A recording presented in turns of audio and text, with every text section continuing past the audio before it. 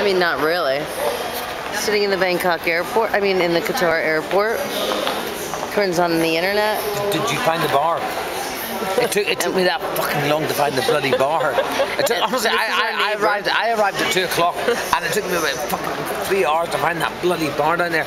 And the, the deal was, you pay thirty dollars to get in, and then it's as much drink as you want.